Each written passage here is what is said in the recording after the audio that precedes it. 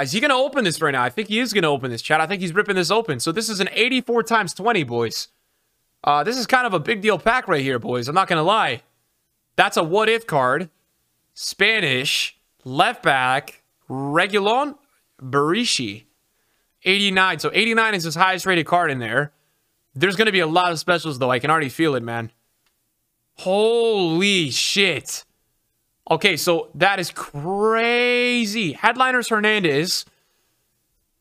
Laporte, he got one, two, three, four, five, six, seven specials, two walkouts. Look, man, that's kind of crazy. I mean, I think most of it is fodder. I'm in the Rats mindset now where I'm thinking Sissoko, Hernandez, this pack would have been absolutely sensational for me. But